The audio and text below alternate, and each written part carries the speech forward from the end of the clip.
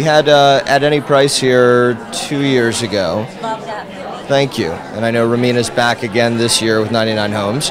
Um, but I love TIFF, and uh, I actually have partnered up with Elevation Pictures, which is uh, our Canadian distributor, and have capitalized that company. So I'm doing a lot of business in Canada and uh, just excited to be here. It's been a great festival.